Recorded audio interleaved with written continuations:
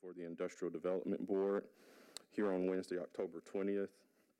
It is here right at 10:07 a.m., and it appears we do have a, have a quorum, so we will move forward with getting this meeting underway. First item uh, is the consideration of minutes from the, from last month's meeting on September 15th, 2021. Uh, We did email those out, but it looks like there were potentially just a couple of minor changes, so I will give everyone a couple of minutes to review those before we, uh, and then after that, I'll, I'll uh, entertain a motion to approve.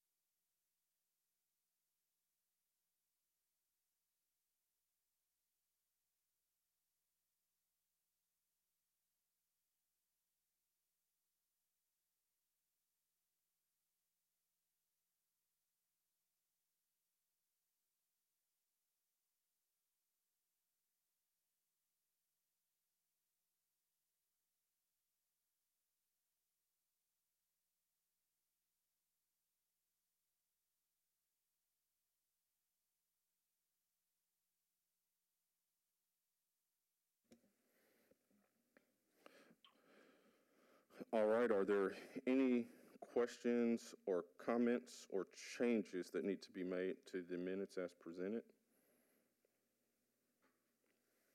All right, if not, I will entertain a motion to approve the current minutes as amended. All right, thank you. Is there a second? I'll second it. All right, thank you. Uh, Motion properly seconded. Any discussion? All right, let's take the vote. All those in favor of adopting uh, these minutes as approved, say aye. Aye. Any opposed? All right, outstanding. The minutes are adopted. Thank you. Uh, Oh, very quickly, I I did, I didn't want him to think that I forgot about him. I do want to, very quickly, before we go on to the public comment period, uh, welcome Board Member Brian Cordova to the Industrial Development Board. You thought I forgot about you, huh? Uh, We won't, we won't put you on the spot today, but uh, Brian was, um, was approved two weeks ago at the uh, first meeting uh, in October. So, uh, first of all, thank you for your for your willingness to serve. Um, obviously, it's an extremely competitive process. So, congratulations to you. And uh, you'll find uh, as you get to know this board, you're coming on at a great time. Uh, we have some older members like myself. I guess I'm now the OG of the group, but uh, we certainly have some uh, newer members as well from quite frankly all all walks of life and, and certainly different geographical areas, different backgrounds as well. So uh, welcome and, and we look forward to working with you. And very quickly too, I want to congratulate Vice Chair Segal as well. Uh, she was up for re, uh, reappointment as well, and uh, she was also appointed and, and voted on and approved to serve another six-year term. Again, very competitive process, so congratulations to you. And congratulations to you too. Oh, well, thank you very much. So, um, anyway, very exciting times, and again, look forward to working with everyone. All right, let's go to public comment period. Uh, item number three on the agenda. Uh, we will now hear any public comments related to other matters on the agenda. You will have three minutes to speak. Uh, we ask that you go to the podium. Is there anyone here today wishing, in the audience, wishing to be heard? All right, as there does not appear to be anyone uh, wishing to be heard today, we'll, we will go ahead and close the public comment period. Thank you. All right, moving on to item number four, old business. Resolution approving the authorization, issuance, and sale of special assessment revenue bonds for the South Nashville Central Business Improvement District, CBID, and all matters related thereto. Uh, So let me, let's level set this uh, briefly. Obviously, this is pertaining to the Century Farms development. We do have the developers here again today. Uh, We spent great discussion at September's meeting, getting some background on the Century Farms uh, project, and all of us were here at that meeting, uh, aside from uh, new, our new board member. So we'll certainly, what, what I'd like to do here certainly give, uh, give the developers an opportunity to give everyone a quick high-level overview of the Century Farms development overall. Uh, Certainly give uh, Board Member Cordova and any other board members a chance to ask any questions. And, and let's do that first, uh, just to understand, the make sure we're clear on the project, big picture. Um, And then from there, we can talk specifically about the resolution that we are uh, moving to, uh, that we will be voting on rather uh, in today's meeting. So with that said, let me do this. Let me bring up uh, the developers, uh, Oldacre McDonald, if you all will come up, introduce yourselves. I've, I've got a couple points I certainly want to cover, but I will, um, I'll defer to you all first, and if you will, just kind of give us a, high- first of all, introduce yourselves, and then uh, give us a high-level overview of the, uh, of the project. Again, you were here last month, so not necessarily as in greater detail, but uh, do that, and then I will certainly allow our, my fellow colleagues to ask any questions. Thank you. Thank you. Uh, I'm Bill Oldacre. This is Mark McDonald. Uh, We're Oldacre McDonald, a Nashville-based commercial real estate development firm. Uh, We started buying land out in southeast Nashville in in 2015 for Century Farms. Assembled, I believe it's 11 separate parcels of land totaling a little over 300 acres. Um, Once that uh, assemblage was completed, we uh, planned the development, and over the last six years, five or six years, we have been working to construct parkways throughout the property and, and, and utilities, infrastructure, just general public infrastructure, sewers, everything, uh, street lights. And at the same time, the state of Tennessee has been constructing an improved, expanded exit 60 and that exit 60 opened about a month ago, so to traffic. Uh, We now have got um, multiple parcels of our project under development. We even have two or three that are completed and opened. We have a CHS has a 250,000 square foot office building that was home to 2,000 employees pre-COVID. It's now home to something less than that, and I think they're kind of coming back slowly. We've got an HCA-owned freestanding emergency room there. We also have, an uh, TDK from Murfreesboro has constructed a 212-unit apartment property, and uh, they have a second one under construction, and we also have a m- medical office building under construction. About a month ago, we sold a site to Nashville SC for their new training facility and corporate offices for their, their, their MLS soccer team. And, Bi- and Bill, real quickly on that, just to bring up, I saw that, that groundbreaking just occurred since our last meeting, so that's, that's really neat. That's exactly right. And I was out there a couple of days ago, and they're digging footings for their building. And, um, and we've delivered the site to them. They have three full-size soccer fields, plus a building, total buildings of about fifty thousand square feet, really beautiful. So, um, we are now, uh, have also sold another site to another multifamily, um, group from, from uh, North Carolina. And we also have a, we're going to close in about a week with an Atlanta-based firm for a mixed-use project of 317 residential units and 22,000 feet of retail. So, and, and, and this, we believe that Century Farms will, will build out over the next couple of years, two or three years, till, till it's fully completed. And at the time, once it's fully completed, we think it'll have over a hundred new businesses will be, be housed there.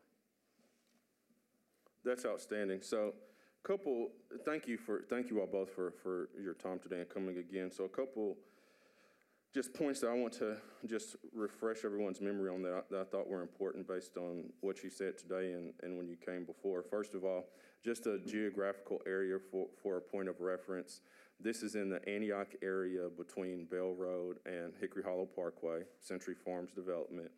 Uh, huge, and I won't get on the whole soapbox again, but certainly I grew up in this area, so certainly understand. And one of the, the, the items that we discussed at the last meeting, I think is important for people to think about is from a geographic standpoint, a lot of the retail left uh, as changes happen with the malls. So instead of the, so when people are shopping, they're going to really uh, two places. Uh, one, they're going to Mount Juliet, some, uh, Providence, certainly, which again is Wilson County. Nothing wrong with shopping there, but certainly not Davidson County, Metro Nashville. And also certainly going to Sam Ridley, Smyrna area as well. Uh, so this is certainly an opportunity to have some development and give people an opportunity to shop and keep those property tax dollars within Metro Nashville, Davidson County. So geographically, just want to bring that up. Uh, also, this, understand this was a seven-year project. In total, this is about 300 acres in, in size, correct? Correct. Um, obviously, Nashville West is a model, but this is a lot larger than Nashville West for, for anyone who shopped at Nashville West, and I, I certainly have. Uh, for the, uh, on your end too, I think it's important to note just from an infrastructure standpoint, because we're coming up with that today. Just on your end, your group spent about two and a half million dollars just on the design for the new interchange there, the Diamond Interchange. Um, and, and that's significant too, because it's, it's certain when you talk about even even businesses are, that are not necessarily involved, like part of the Century Farms development. One of the challenges, as we've discussed, is Bell Road. Uh, that that intersection there, uh, when you get off the interstate, is very challenging. It's it's always congested. So this will certainly relieve traffic from there as well, which will um, hopefully help traffic flow and help businesses and, and help residents get around. So that's really neat. Um, you talked about the medical office building. There's lots of multifamily here coming as well, which is great, but also office space too. So when we think about live, work, play, this certainly gives an opportunity to all of those in the Century Farms development. And then if you could too, because it, uh, you know, there were some comments about small businesses. If you could talk again a little bit about the food hall and, and your plan for that, that would be great. Okay, uh, and I will say, you mentioned Bell Road, we also Sure. purchased, we previously purchased the, the the vacant Target that was located at Bell Road and redeveloped it. Uh, we also bought the, the closed Shoney's at that same interchange, the Bell Road exit, and Sure. redeveloped it. Um, But the, we also are working with a local group on a food hall that would um, be approximately eight to 10 separate restaurants in a, in a, in a cluster, a little small cluster of buildings uh, adjacent to one of our multifamily properties and next to a, a- next to a retail center that we plan. All right, that's, that's terrific. Thank you for, for sharing that. Um, and, and if you could to just speak to, obviously, Andres, and you all, we talked about this, there were some questions about you all attending some of the community meetings, which I've personally attended some of those going back six, seven, eight years ago with CNAP. Um, obviously, that's, that's something that you all are very active in. If you could speak to that and also speak to, uh, you know, when this project was first getting started, there was a different council member in place, Council Member Dow, if, if, if I'm not mistaken. Correct. Uh, can you speak to, you know, that transition and, and, uh, you know, your current conversations and, and, the, uh, your partnership with the current council person that's in place now? Sure. Uh, Hi, Mark McDonald. Um, You know, before we even started this project, we had over a dozen community meetings and kind of brought the many different groups uh, of the community together to get their input as to what they thought was important to the community. So I think we tried to use, work with Councilman Dow at the time and come up with a plan that everybody liked and embraced. In fact, when we came up to the city council for approval of what's a very large project. There were no objectors, and there were only people speaking positive, to a point that the vice mayor said, guys, we're here to hear from the community if they have any concerns. So this is not a cheerleading session. This is a uh, session to hear about concerns, but there really weren't any. And I think that's uh, kudos to Councilman Dow and kudos to our group for working with the community extensively. David Young, who's not here with us today, attends every community meeting that we were invited to, and I think some we're not invited to, but we're at every CNAP meeting, so we're really, we think we're a significant part of the community. We embrace the community, embrace, embrace the uh, diverse groups of uh, residents that live in the community, and Antioch is a very diverse place and has a very diverse group of people that live there, which is great. Um, You mentioned small businesses. I wanted to add uh, Tanger uh, Outlet Malls, which is doing a big project in, the in the center. We're, they're in town this week, and we're meeting with them and kind of moving towards a closing with them. Has made it a real commitment to try to include some significant local business activity, and I know they're reaching out to small businesses as we speak to try to get small business to, to be included in the Tanger Outlet Mall. They think that prevents, pre- that's a very positive uh, kind of uh, situation. Um, So we're excited to think there'll be many more small businesses that are already Nashville-based small businesses that'll be included in the, in the overall development over time. Outstanding. And you're, and, and you mentioned this before, and I've, I've, I've obviously eaten there plenty of times. But you, to small business too, you all re, even though this, it's not part of this project, it's certainly in the area, the Applebee's, close to the mall, you all redeveloped for Slim and Husky's, correct? We Which did. I think most people, if you haven't eaten there, I don't know where you've been. Pretty good pizza. So, Fantastic, and, and it's doing a great business. And, and I think you, you mentioned, or I want to kind of mention the Sure. impact this has on the overall Antioch and the greater southeast Nashville community. I think Century Farms is kind of a spark that has sparked a redevelopment, an increase in values, and a kind of a, kind of a very positive feeling about the Antioch community. And we're very proud of that. You, you, you talked about Nashville West, when we did Nashville West, very much the same situation happened. That area had been beat down a little bit, downtrodden. The Walmart had closed, the Food Lion had closed, and we saw a real resurgence in retail and property values all over the, you know, all over that kind of West Nashville part of the community. And Charlotte Pike has now obviously exploded.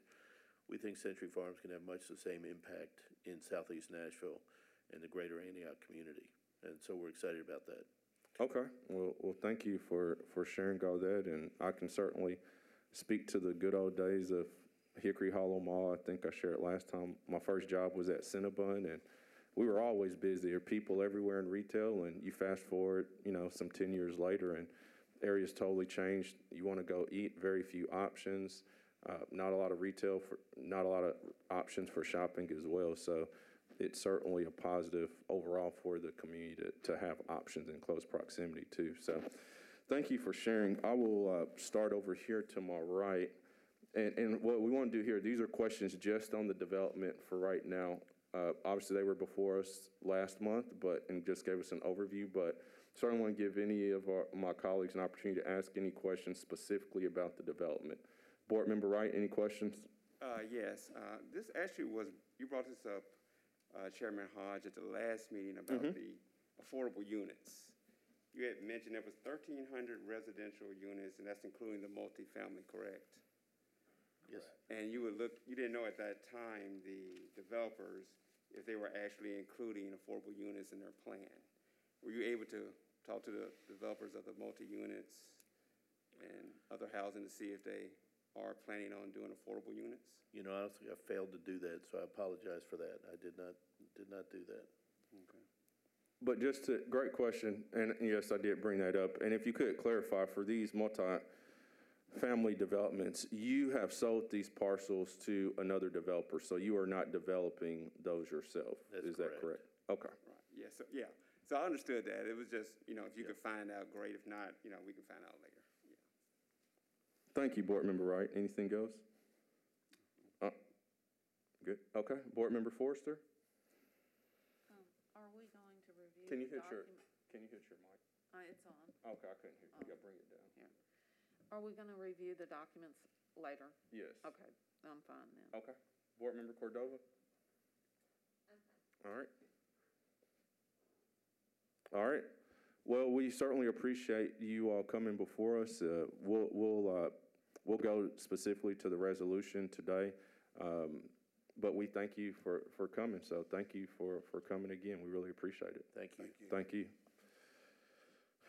All right. So we, we have now kind of gotten, a- refreshed our memories and for others, uh, gotten some more information on the cent, overall Century Farms development. Uh, let's talk specifically about the documents. What I'd like to do is, uh, let's call Jeff Oldham up, if you will, Jeff. And, and Jeff, before you get started, let me, if, if the board will acquiesce, let me bring up a couple of key points that we discussed related to this bond issue. Um, and then I certainly will give you an opportunity to add anything that I may have missed or clarify, and then give anyone else an opportunity to ask any questions. So, what we're talking about today is issuance of bonds for infrastructure. Couple key points, and this goes back to some of the questions that, that we had at our last meeting. I, I just want to make sure I address some of those. One, this Central Business Improvement District was created in 2018. So this is not new, it's already created, it was created by the council. Um, as part of this, there's a, there's an additional $1 per $100 of assessed value that specifically goes to the Central Business Improvement District. Want to clarify because this is a this is certainly important for us to to understand. This is not taking out any revenue from property taxes, uh, the normal property tax that goes to schools, police, etc. Pay our metro employees, pay our teachers. This is one dollar above that amount per one hundred dollars per assessed value. There are some questions about can that number change? That number can only be changed if the property owners within the CBID agree to that number. Will that value go up? Well, right now, most of these properties are vacant land, so they're not developed, but as they're developed, their property values will rise, hence their assessed values will rise, so that one dollar per one hundred will increase, but the actual rate will stay at one dollar unless uh, the property owners agree to that. In addition to that, this CBID is only for this development. It only applies to this development, and it's, it's something that is paid by property owners within the development. Jeff, thus far, am I, am I covering it? Okay.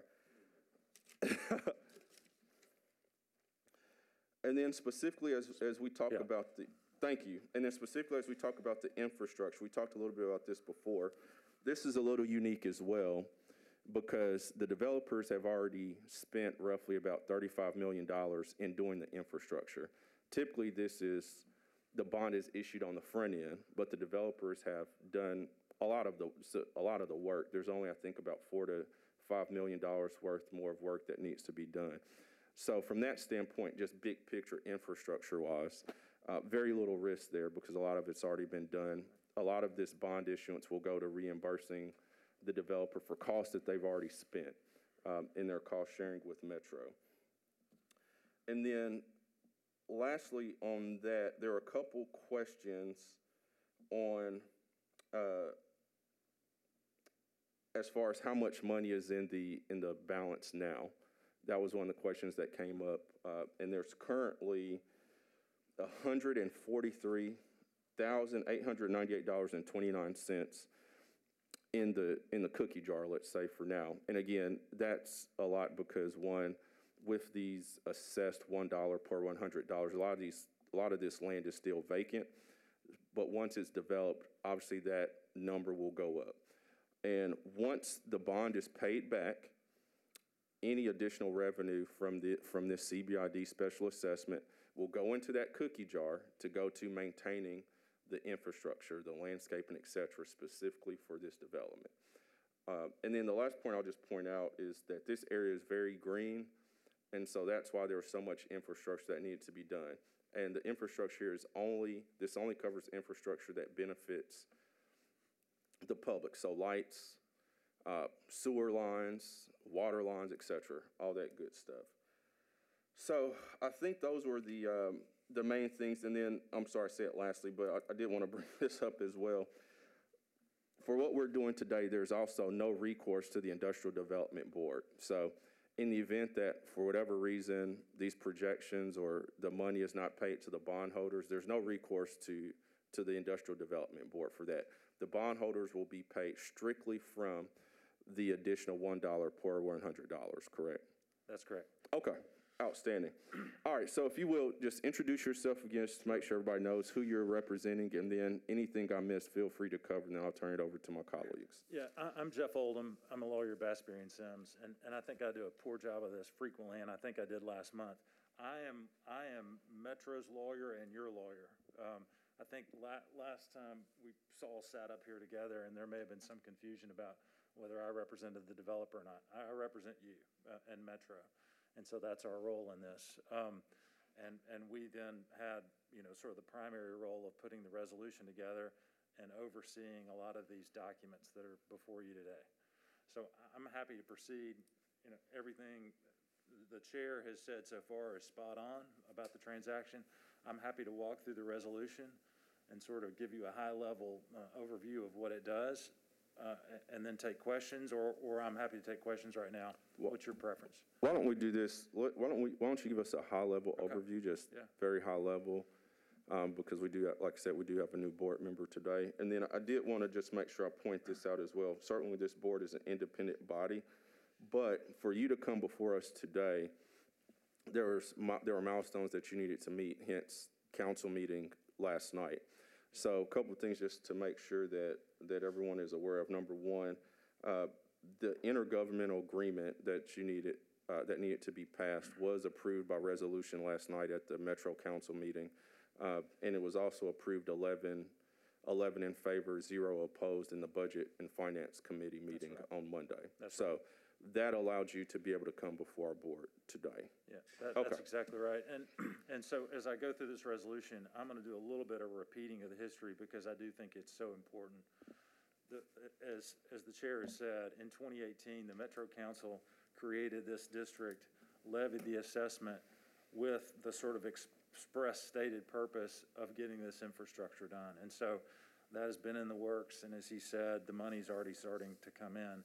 Um, when you create a, a, a central business improvement district like this, there is also created with it a district management corporation, which is uh, a corporation that has as its board some developer-oriented folks, Metro Council folks, state representatives. And so that board has met and has approved everything um, that's in, in front of you today. And, and Jeff, can you, let's stay on that because that was another question that came up. Who are some of the people, if you have it there handy, that are part of this uh, DMC? Um, And I think, I was talking with Mark, I think they just had a meeting, I, I think, Yeah, let last me- week. I've got uh, a sheet of paper here. Sure.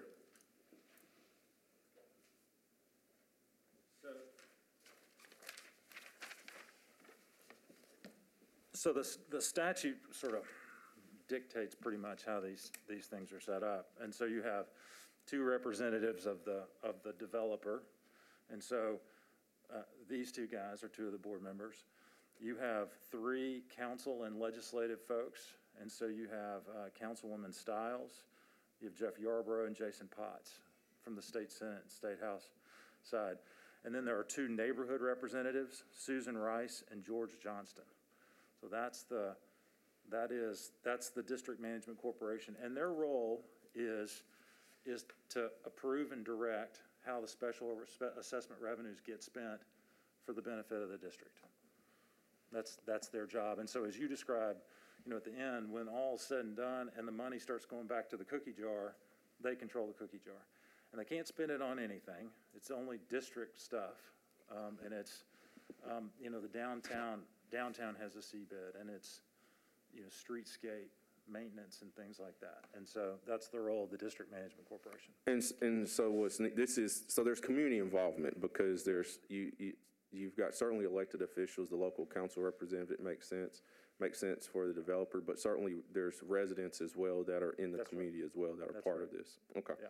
Thank you for, for sharing that. That was a question that came up at the last meeting, so thank you. Yeah, absolutely. And so, so the council did their thing back in 2018, and then, um, and then this year, the council's sort of, Metro's idea was, This really is, is a financing that's more properly undertaken by the Industrial Development Board, because it really is sort of a project finance. It's the kind of thing that this board does. And so the Metro Council, by its action last night, approved an intergovernmental agreement that says, we're giving, we, Metro, who would otherwise collect these special assessment revenues and give them to the District Management Corporation, we're gonna give them to you. And we want you to issue bonds to finance these initial infrastructure costs and use the special assessment revenues that we're giving you to pay the bonds. That's all the intergovernmental agreement does. And so, as he said, um, the Metro Council approved that last night. And so the council, to wrap all that up, created the thing, levied the assessment, and now has sort of approved moving the dollars to you uh, a- and asked that you, well, sort of in contemplation that you guys would then issue bonds to finance these infrastructure costs. So is that, I'm plowing a lot of the same ground you you Sure. did, but I, I just think it's important. And I guess the other thing I would repeat, not because you didn't do a good job with it. Sure. This does not involve property taxes or sales taxes. This is purely the, the over and above assessment. Nope, we, thank you for clarifying. That was, that was another question that came up. Well, thank you, Jeff. Let me, let's do, let's do this then. We appreciate you giving us that overview. Stay up here. I'll start here to my left first with Board Member Davis. Are there any questions specifically related to the CBID or, or the bond issuance? Um, For thank- Jeff? Thank you, Chair. Um, I, not much, uh, very, very supportive of the project and, you know, really enjoyed the presentation last, uh, month. Um, just a couple things, um, with, uh, my one question, I guess, was, funds go in, what's the actual mechanism? Is it at tax time that the dollar per hundred dollars goes in? How, how is the actual mechanism of the collection? I can, I can answer that, or I can, um, I mean, the, it is on your tax bill. If you're in a improvement district, you have another line item at the bottom of your tax bill. And so there'll be that extra dollar per hundred. And so it's collected all at the same time. And so then when the trustee gets the dollars in, they get split between taxes proper and special assessment. And the special assessment will be siphoned off and sent over to the bond trustee mm-hmm. to then pay debt service on bonds. Okay, and that is, it's sent through this board you're talking about though, at that point, correct? That's why they're functioning? That's right. Okay, And, and real quick, if I may, so I think that's a great point to, on something else, just to clarify. Again, this is only for property owners, so when you go buy a property, uh, you can look up what the property taxes are, at least at that time. That's right. So if you buy a property and it gets only the property owners, which, uh, in this area, you know that before you buy, you, you can look that up and know, okay, you're going into a special assessment district where, okay, here's my property taxes. In addition to that, I will be paying a one dollar per every one hundred of additional for the CBID, so you know that. So, Gotcha. thank you.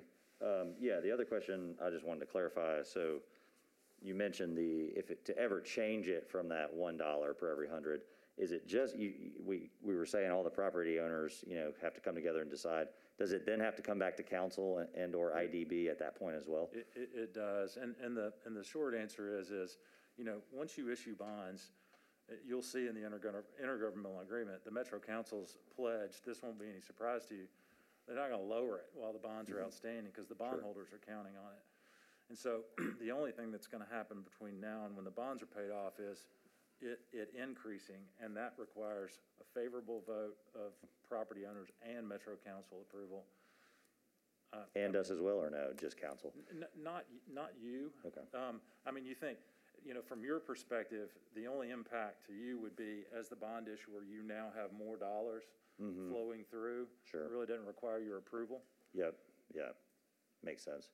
Um, yeah, and I guess that would be a scenario where, whoa, we don't have enough, we don't have as many tenants as we thought, or something, for some reason, there wouldn't be enough revenue, I guess, is what they thought, and they would have to get a little bit more out of each business or something, is that the idea? Why you would That- maybe have to that's- raise That's it? a, that's a possible, yeah. that's a- Landscaper costs went up, and so we gotta get a dollar twenty-five instead Or of a if the, dollar. or if the community just decided, look, collectively, we think it's worth it to pay a little more, Mm-hmm. you know, every year in an assessment, so that we can, you know, and then list whatever, whatever improvement. Yeah. But that would be down the road and really out of all of our hands. Gotcha, And certainly, we, we, there's projections now, but, but part of that will come into play. Once all this property is developed, there'll be a better, uh, a better sense of what that number will look like based on the new assessed values after this land is fully developed as well. That's right. Yeah, the pot will get bigger, as you say, but, um, the only other, uh, one other kind of macro question I'm wondering about is, um, because I'm a fan of special assessments, I think this is, this is a great way, you know, we hardly have any tools to raise revenue these days for anything, um, and these, uh, CBIDs are. You're are- always in people's pockets, Anthony. Uh, yeah, you know, these CBIDs are a pretty neat tools, all I'm saying, I guess. Um, did we have to get state authorization for this, or is this just something that we've had state authorization for CBIDs, and this is only the second one we've done to downtown? It's, uh, i yeah, it's, a- so state, state statute authorizes the creation of CBIDs, and I think there are three. I'm deferring to Margaret here, she's the expert, but I think it's downtown Gulch Oh, the Gulch and one, South yeah. Nashville, Mhm, so this is the third. Okay, gotcha. So did we just get state authorizations to do CBIDs wherever we want in Davidson County, or is it just each one we have to go You, to the you, you can do them wherever you want, and it's not just Davidson County, it's, that's, this is a statewide statute. Okay, great. Um, yeah, well, that's just a tool we need to keep in mind, you know, um, there's lots of good tools. I know a lot of them, you end up siphoning the actual tax dollars, uh, elsewhere, and so that gets unpopular quickly or, you know, very combative. But if it's just an extra special assessment in an area, you know, that's an interesting tool we can use for, uh, different spots of town. But, um, yeah, I'm, again, just reiterate, very supportive, um, appreciate all the clarification and, um, look forward to seeing this project continue to develop. And I know it's a lot of bonds that we're issuing, but, um, I think it's, um, this project has come a long way and it's the right thing to do. Thanks. Thank you.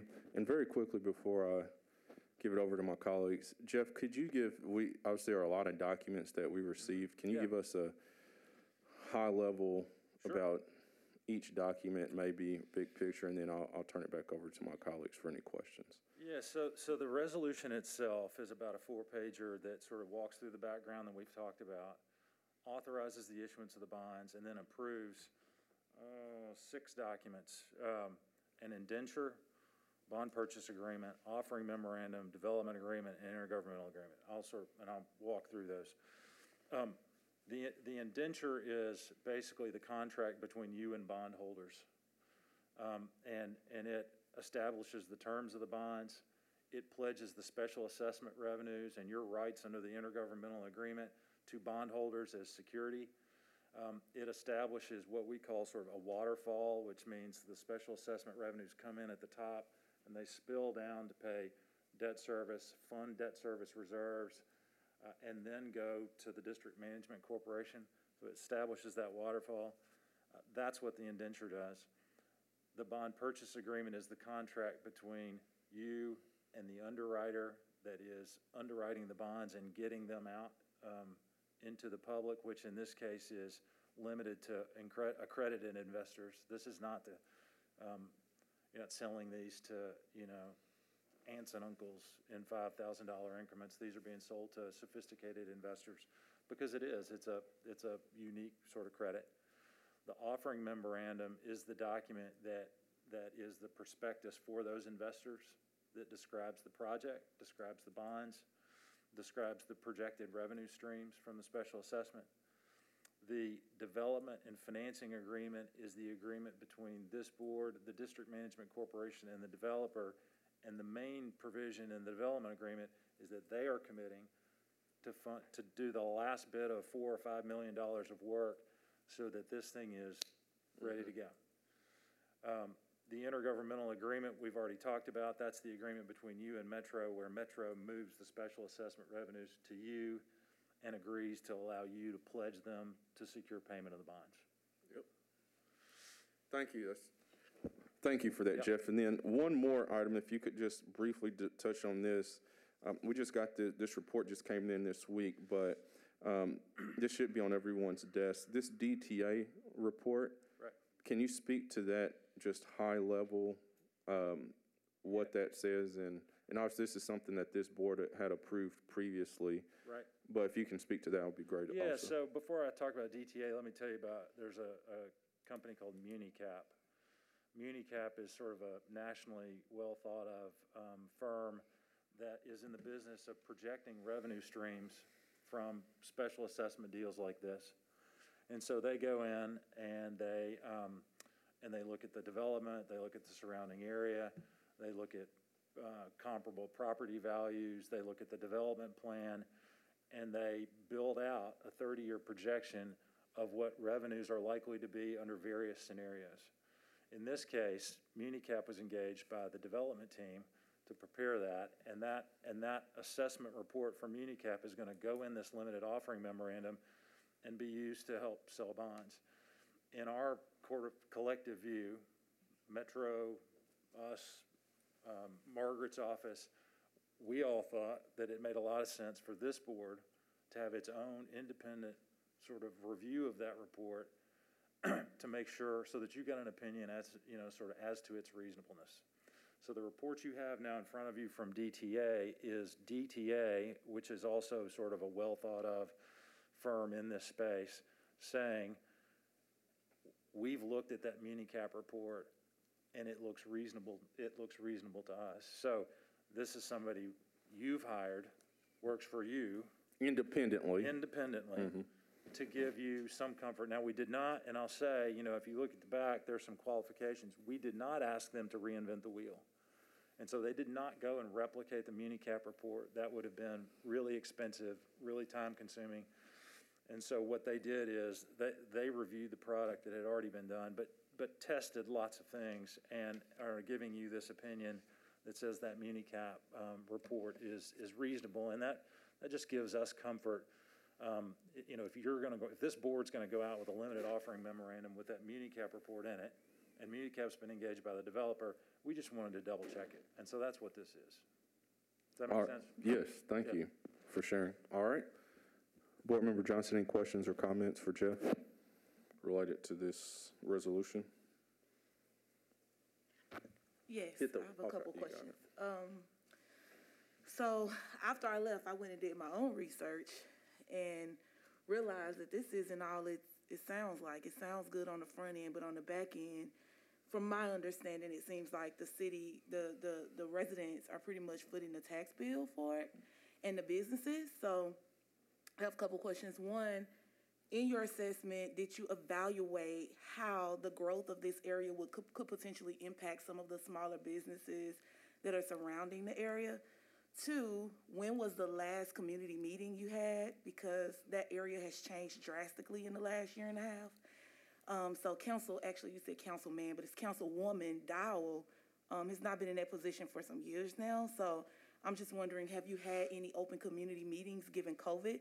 And when you had the community meetings, were the community members informed that part of their taxes would cover this assessment? Or did you just talk about the overall development and not talk about the bill? Or who's gonna be paying for it? And then I have some more questions around the CBID situation, like it, it, it seems better than what we've been doing, but it doesn't seem like the best that we can do, like we can do better. Um, so that's the first set of questions, but I'll just go through them and you can ask or you can re, re-ask me for clarification and I would like to hear it from you. Yeah, let's, Um, let's start with the first question, if that works, on the community meetings. Yeah, yeah, Yeah, that, that's really, n- that's not, that, Let's, that's not my role. I'm let's ask the happy to let- yeah. developer to come back up.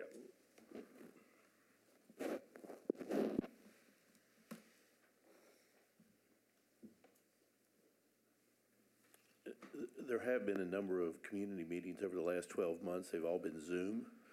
Uh, They've really been project-specific community meetings, so when we'd have a, Councilman Styles would call a meeting when we had a project, like the project we're selling to Oxford Properties, which is a mixed-use development of 22,000 feet of retail space and 311 apartments. And she publicizes those meetings and has them, and it gives people an open forum and an opportunity to speak. And we had lots of discussion before we got approval of the project. So we've had, I think, over the last year, two or three of those type of meetings. Again, they've been uh, subsets of the project, so, I mean, it- it's not the, on the overall project, it's been on a specific project within Century Farms. I think on the, uh, to answer one of your questions about the tax the taxing, it's, it's really an assessment, but the assessment only goes for, on people, residents in or businesses within Century Farms. It doesn't go outside of the Century Farms residences or businesses. So each business that chooses to locate in Century Farms understands this assessment exists. So it's part of our sales, you know, when, when we sell a piece of property or discuss with a developer buying a piece of property to develop apartments or condominiums or that kind of thing, we make sure they understand this assessment. Now, what they get for this assessment is the infrastructure that allows their business to come in and exist in this location. So it really is one of these deals, I think the chairman made, made mention of it. We're only assessing ourselves, we're not assessing anybody outside. We think this assessment positively impacts a much greater community within Antioch and within greater southeast Nashville than it does just the Century Farms community. So in, in effect, the Century Farms people that are aware of the assessment and either purchase or develop or rent are aware of that assessment, but it benefits a far greater group of people. Yeah, and Councilmember, to the point, Councilmember Styles, which is a great question, is part of the, the, the management, she's part of the panel on the DMC. So moving forward, once these bonds are, are paid, the local council representative is one of the people in addition to community members that will direct how that additional one dollars, how that will be diverted within the CBID after the bonds are repaid. That's correct, and she, she, we, we uh, communicate with Councilman Styles regularly about businesses, small businesses and businesses she sees she wants to be in the community, that she thinks are an important component. She called me yesterday and said, we need to make sure we have uh, businesses that appeal to people with s- small children. So, uh, and we're working with a couple of businesses who want to kind of appeal to small children. She said that's an important component that's missing within the greater Antioch community. So we have those kind of back and forth discussions all the time, and we're sensitive to trying to attract businesses like that that will reflect what the community needs are. And back to the meetings we had before we even started Century Farms, that the, the zoning we secured and the devi- design we came up with reflected what we thought those, the community members told us they wanted. So we tried to be responsive to what the community wanted when we designed the project. Do you, Jeff, do you want to come back up to address Yeah, those and I'm questions? asking these questions because I did my own research and I talked to about fifty people that live within a fifteen mile radius of it, and maybe only five of them were even aware that this was coming, so just want to put that out there. Um, my other questions are around like how the CBID type of committee or whatever you call them is structured. Um, so one, once this, once the IDB votes on it and the council votes on it, does the CBID, CBID co- little group of people have the authority to amend any boundaries without going back to the city for approval? Or do they have to come back to the council, or is it just on them? No, So they don't have to come back, they can no, just? no, I'm sorry, they don't have the power to amend the boundaries. Okay. Yeah. And then the other thing is, will those CBID meetings be like published? Will they be streamed on Channel Three? Like, will community members, how will community members be aware of what's going on? They'll be publicly noticed. So is that like a requirement, or are you just saying in good faith? Margaret, gonna what, do do that. you, you know the, do you know what the other CBIDs do? Uh, no, I, I don't know, but I, if they are, if their meetings are public, but I would, I would think that they would be public meetings. It's a publicly created corporation. That's right.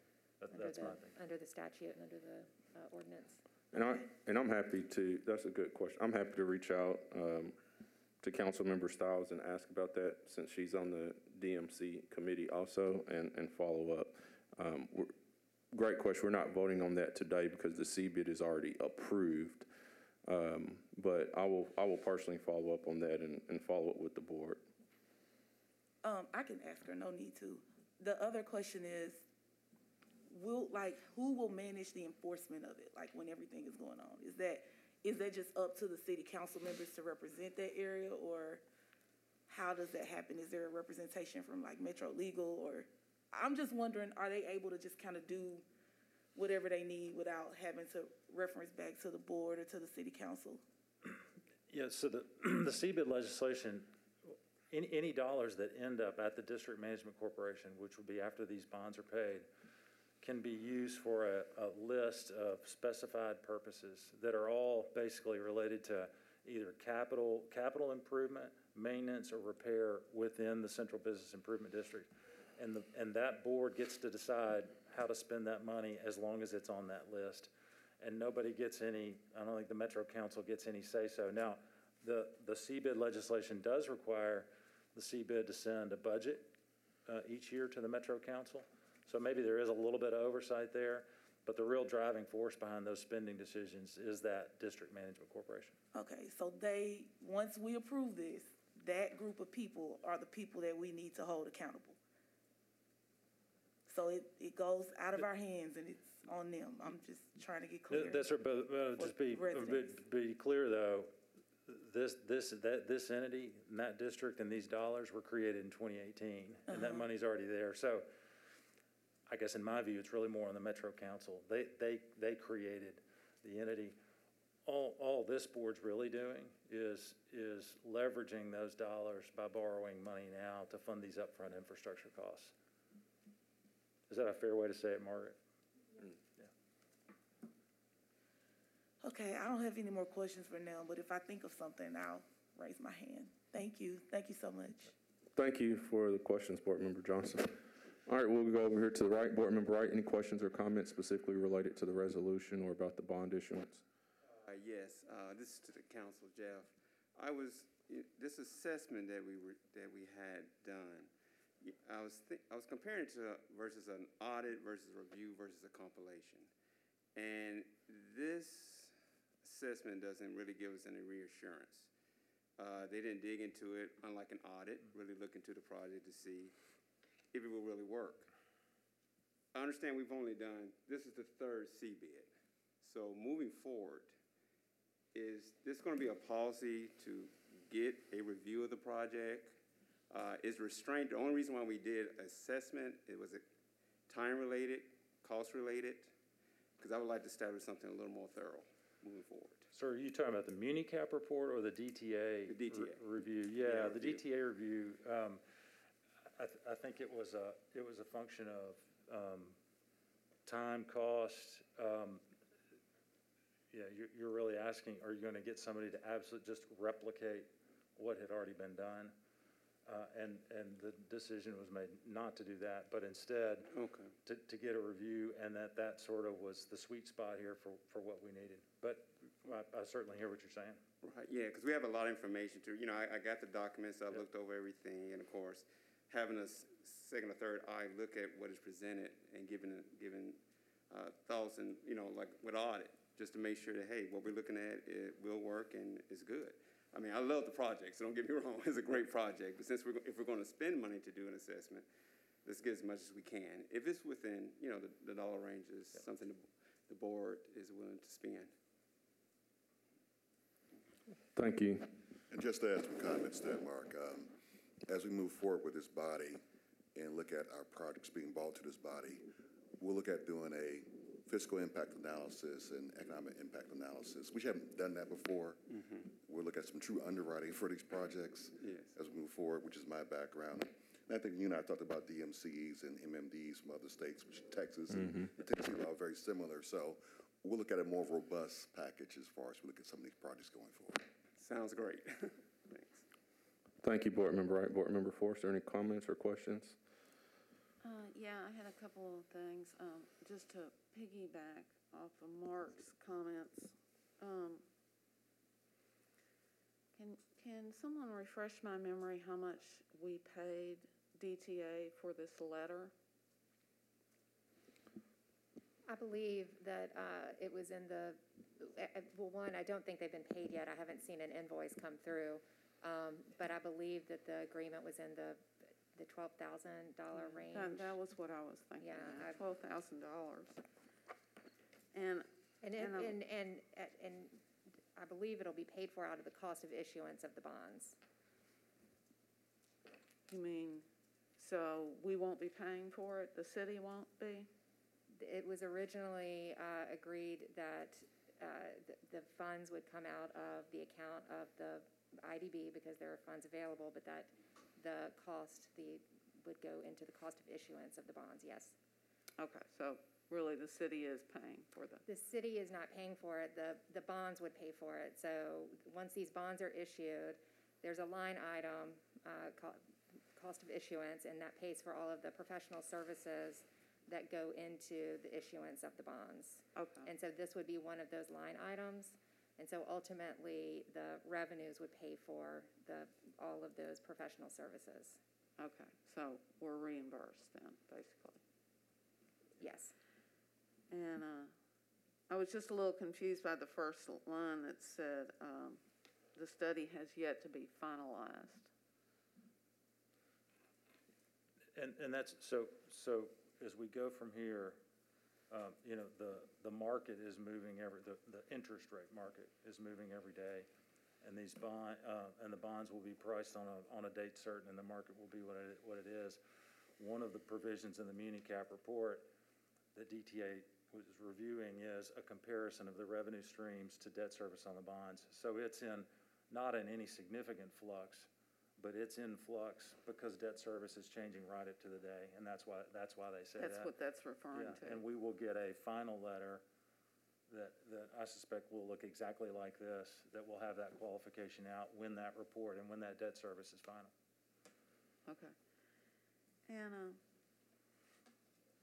so the, the MuniCap report, I was just interested in it. Um, can you just very briefly explain the different scenarios that they looked at? It looked like there was three different scenarios. Yeah, hold on, I'll, I'll, I'll pull it up here. Um, they do, um, three scenarios. One, and this is sort of the, the, you know, for, for the majority of the bonds, the, the one that matters the most is, is one that counts, I'm gonna try to, gonna say this efficiently, only counts revenues on projects that are in some form of contractual commitment now. So that's, that's sort of a conservative thing.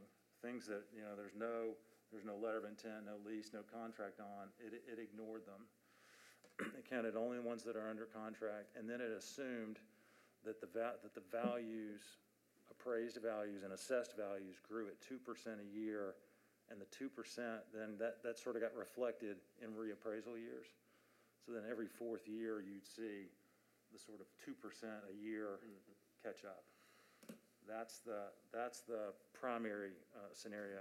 There's another scenario that is just like that one, but without the two percent inflation. And then there's a third scenario that assumes that the whole development is developed as planned, including not just stuff that's under contract, but everything that's contemplated. So kind of like a worst and a best scenario and somewhere in the middle. Yes, that's right. And all worked. So there, there are two, there are two series of bonds, senior lien bonds, that are the vast majority of the bonds. They're sold based on that first, that first scenario, that bondholders are counting on the revenues from things that are un- under some form of written contract, letter of intent, uh, and the two percent growth per year. That's how those bonds w- were sized. There's a subordinate series of bonds that is sized based on that third scenario, which is it all, it all got done. And so that's, that's how the bonds are structured. Okay, that was, thank you for that. Yeah. Um, but I, that was my next question, really, was looking at the different series of bonds. If you could just real briefly, I Sure. mean, you know, it looked like the two other ones were capital appreciation bonds. How, how does that work? So maybe the first place to start is the sort of the senior and the subordinate. Um, You know, the, the senior bonds are gonna be sold to accredited investors through an underwriter, in, you know, anybody who meets that qualification, anybody and everybody, under an offering memorandum. The market for those, the- you know, the way you go about selling those is you need to have some uh, elements of, of comfort. And the element of comfort there is twofold. It's the, I'm gonna call it the more conser- conservative assumption under the MuniCap report that only counted properties that are sort of under contract. And then the, the bonds are sized such that that projected revenue stream is always at least hundred and twenty-five percent of debt service in a given year on those bonds. The, the subordinate bonds will actually be sold to the development team. They're sort of self, self-finance. Tho- those will be sized based on that scenario C, that everything comes in. All bondholders bear the risk that special assessment revenues don't come in as projected. This board doesn't bear that risk. Metro doesn't bear that risk. It's not an event of default if they don't come in. That's just, all you're saying to bondholders is, we get, we get whatever sent to us, you get it, and that's all you get. And you gotta live with it, but you can take some comfort, senior bondholders, that we're only counting properties that are under contract, and you've got this twenty-five percent cushion. That's, that's the senior and subordinate. Um, the difference between now, is there's two senior bonds. There's current interest bonds and capital appreciation bonds. Current interest bonds are bonds that probably familiar with. They're bonds that pay interest. Interest pays semi-annually. So if you bought a, a million dollar bond, I'm gonna get the math wrong here, a million dollar bond at five percent, you know, you would get, what is that, fifty thousand dollars? Yeah, fifty thousand dollars every six months, you know, or I'm sorry, every year, mm-hmm. you would get paid fifty thousand dollars until that bond matured. That's a current interest bond, and that's what, when Metro issues GO bonds or water and sewer bonds, that's what they issue. Capital appreciation bonds are bonds that the interest accrues, but it doesn't pay. And it only pays at maturity. And so if you have, you know, let's go back to my example, if you have a twenty, a bond that matures in twenty thirty, and it's a current interest bond, then in 22, 23, 24, you're paying 50, 50, 50, 50, and then the maturity.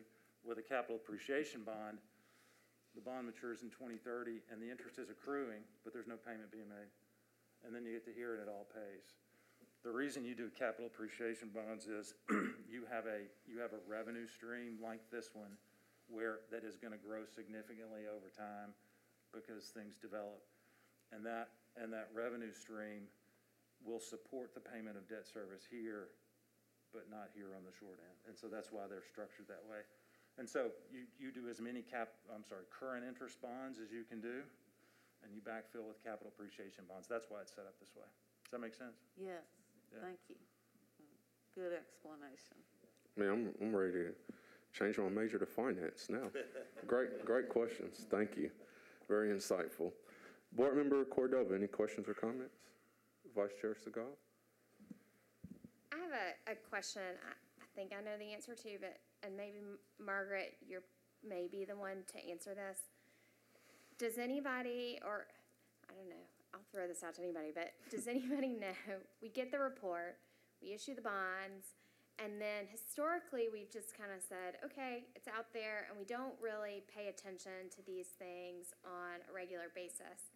Are there currently any metro offices that are tracking, say, are the values of the property improving as expected, or any sort of reports that are required on any sort of ongoing basis for this? Or being made, even if not required? Um, this is the first deal that we've done like this, so, uh, no, I don't believe so, but there are some continuing disclosure obligations under the, uh, the bond documents that we are required to meet, but those will be met by, um, we're, we're, we'll be hiring MuniCap to make sure that those, um, those obligations are met. Okay, but, and will those come before the board as they're Yeah, made for Y- us? Yeah, let me, to it's a good track it? question. Yeah. Yeah, the, the, the sort of back-end administration of this is, is important. Um, and, and here's, you know, sort of, one thing that's gonna happen is you're gonna have the revenue collection piece of that. You won't see much of that, except that you'll, just did the money come in or not, you know? Um, but, uh, um, uh, as Margaret said, we're gonna have a continuing disclosure obligation every year, and that disclosure obligation is gonna have a couple of things that I think will be a good summary report for this board. And it's gonna be, did the money come in? And if so, how much? How did it apply through that waterfall to pay debt service, build up reserves, to go to the district management corporation? And, and then we're gonna have to prepare a report that describes the development, um, sort of an assessment, an updated assessment report. Um, these documents build in fifty thousand dollars a year, um, which is, we think, I think more that's needed. It's not, we don't ha- we don't have to use all fifty. Um, but we've reserved fifty thousand dollars of capacity each year to engage a third party to prepare that report, and you'll, and you'll get it. And so I, I think it'll be a, I think it'll be a good thing. And just, you know, timing in, you know, I would love to be involved in that report. Yeah. Having done these in other markets where you look at tenancy to make sure that we want to finance a, a dead project in ten years and just vacant. Make sure you maintain the occupancy both on the residential side and the business side. Look at job creation, how many people work in the various businesses there. But also look at the capacity of the tax collections and the fiscal impact of the project to make sure we're all aware of that. Mm-hmm. So let's work on that report together. Yeah, no, that's great. Utilize my expertise. Yeah, and, and maybe it's something too, whether it's, you know, not every year or, or every two years, just come before us, let's talk about it as a board to get an update on it, um, to see how it's going to, to Courtney's point, so we can look at the analysis and, and true impact, really return on investment on it, so. Yeah, yeah, I think one of the consistent comments I hear from council members and citizens is, well, I don't know how to analyze anything you're doing. And so to the extent that we can have all that information, it'd be really great, because then we can actually say, this is mm-hmm. what's happening, this is what our return is.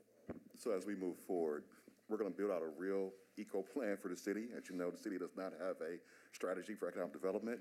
We have a regional strategy, but not a localized strategy. We don't have a real office of economic development. So it's basically two of us managing a city of seven hundred thousand people. So hopefully we have a real plan. Put real that out there, huh? department. We have a real plan and strategy to kind of shake this out. So we have those tools. We can look at a project and make sure that it's a real return. You that know, really, put, put that on the top line of your resume, managing it all. yep. Anything else? That's all. All right, well, I want to thank, thank uh, my colleagues. Everyone had some phenomenal questions and comments today, so, so thank you. Uh, With that, I would like to entertain a motion to approve the resolution approving the authorization, issuance, and sale of bonds for the subject project. All right, we have any, do we have a second? I'll second. All right, motion properly seconded. Any discussion? All right, we will now take a vote. All those in favor, say aye. Aye. Any opposed? All right, let the record show that, uh, Margaret, that I'm abstaining from the vote on this one. Thank you. Uh, Motion carried, so thank you all for coming. We appreciate it. Thank you for your time. Thank you to the board. All right, let's move on to old business.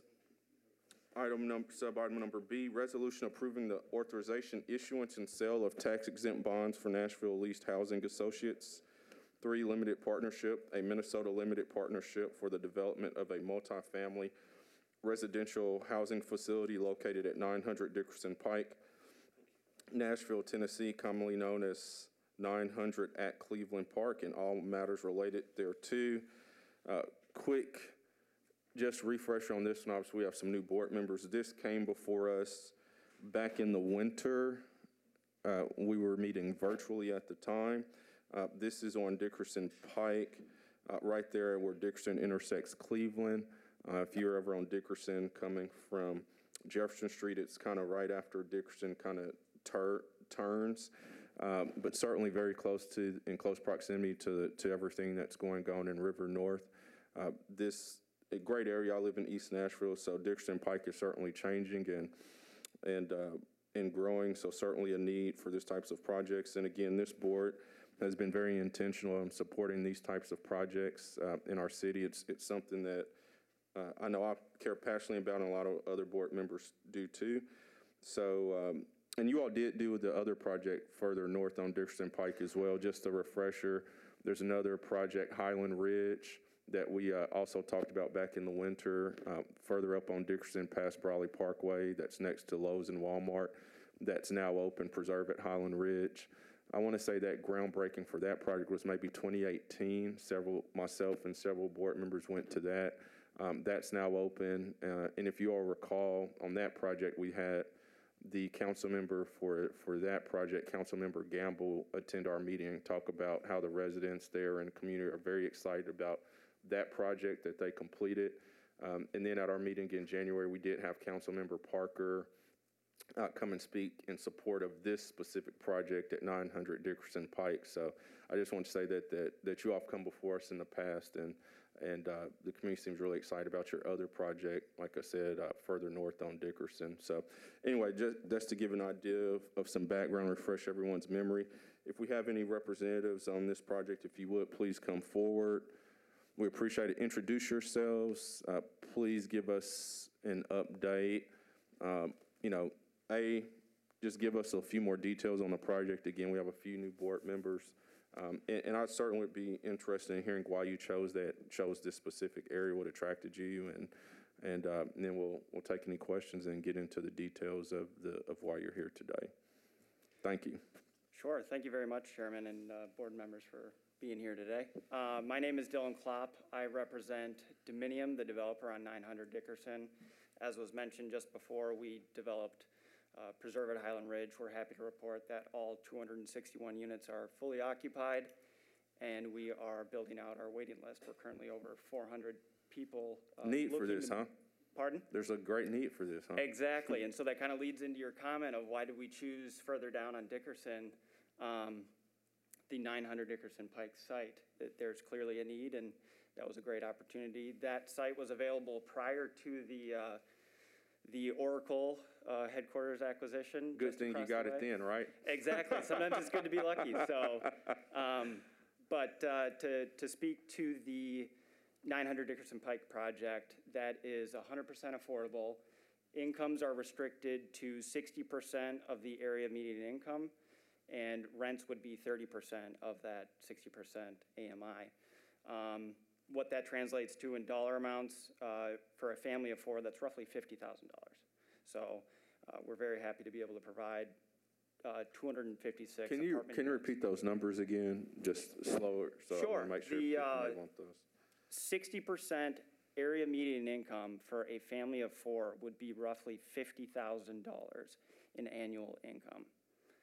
So we're serving people uh, that are, you know, in need of, of reasonably priced, high-quality housing, which is what we're in business to do. We've been in business for over fifty years and uh, have a commitment to long-term uh, owning, operating, and developing affordable housing across the country. Um, As I mentioned, there are 256 apartment homes, uh, ranging from studios to three-bedroom apartments, so studios, ones, twos, and threes. The site amenities will include a dog park, bike storage, uh, storage lockers, uh, package, a package room for Amazon deliveries and such. There's a fitness center, a club room with a kitchen area. There's uh, workstations, outdoor uh, amenities would include uh, courtyards. There's three of them, lounging areas. There's grill space. We have a rooftop uh, deck with a great view. Um, Inside the units, we're doing uh, energy-efficient appliances, stainless steel appliances. There's washers and dryers in all the units, uh, connected for high-speed internet. As we know, over the past year, that's become very important for, for everyone. Um, Our development partners include Smith Gee Studio. They worked on our Preserve at Highland Ridge project up the road. Uh, Have a great time working with them. We are in the process of picking a contractor. Uh, One of those contractors is Hardaway Construction. They built our Preserve at Highland Ridge site, so we're happy to be, you know, working with them on this front end. Our financing partners, they are near identical, uh, well, this is a near identical structure to uh, the Preserve at Highland Ridge development. Our financing partners would include the uh, bond issuer, the IBD here. Uh, The construction tax credit equity bridge lender is JP Morgan Chase. The um, pilot bond underwriter is Colliers Securities. The uh, low-income housing tax credit investor is Polaris Capital. And the Freddie Mac originator and servicer is uh, Greystone Corporation. And that would be the permanent mortgage, if I didn't mention that. Um, We were allocated $43 million in bonds, and those bonds are set to expire at the end of November. We are targeting a close and are ready to, uh, you know, working towards being ready to close uh, just before Thanksgiving to try and give everyone something to be thankful for. So that, that is all I have if available for questions. And when you say close on the bonds, Correct. just to clarify, Correct, close on the bonds, exactly.